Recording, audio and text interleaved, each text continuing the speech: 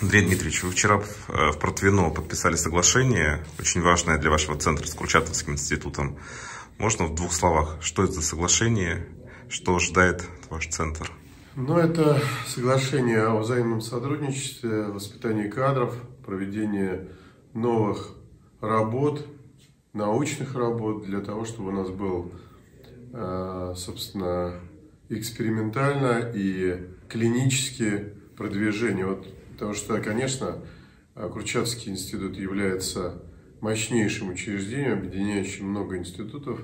Известно, что онкология как наука э, нуждается в монополярных таких вот исследованиях, пониманием, как это все должно внедряться, тиражироваться в нашей стране.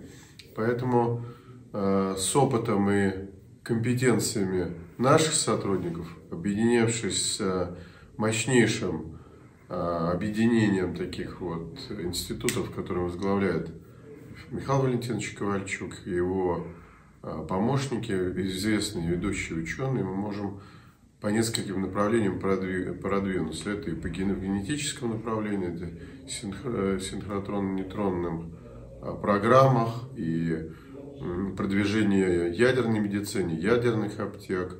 И мы, конечно, очень заинтересованы в этих новых технологиях.